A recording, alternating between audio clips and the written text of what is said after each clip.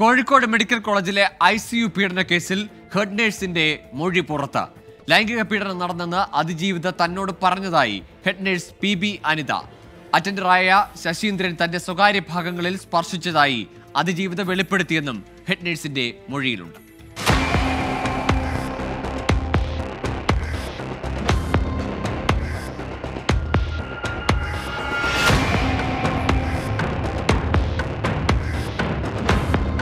വൈദ്യപരിശോധന നടത്തിയ doctor K V പ്രീതി തന്റെ മൊഴി തെറ്റായി രേഖപ്പെടുത്തിയെന്ന് അതിജീവിത ആരോപിച്ചിരുന്നു.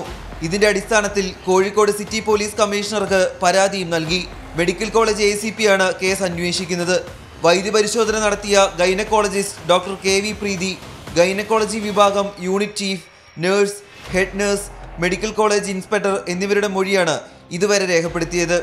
ഹെഡ് നേഴ്സ് പി ബി അനിതയുടെ മൊഴിയിലാണ് അറ്റൻഡറായ ശശീന്ദ്രൻ തന്റെ സ്വകാര്യ ഭാഗങ്ങളിൽ സ്പർശിച്ചതായും ലൈംഗിക പീഡനം നടന്നതായും അതിജീവിത വെളിപ്പെടുത്തിയെന്ന് പറയുന്നത്. പീഡനം നടന്നിട്ടില്ലെന്ന തരത്തിലായിരുന്നു ഡോക്ടർ കെ വി പ്രീതി നൽകിയ റിപ്പോർട്ട്. സസ്പെൻഷൻ കാലാവധി അവസാനിക്കാനിരിക്കെ പ്രതിയായ ശശീന്ദ്രനെ കുരുക്കിലാക്കുന്നതാണ് പുറത്തുവന്ന മൊഴി. ട്വന്റി കോഴിക്കോട്.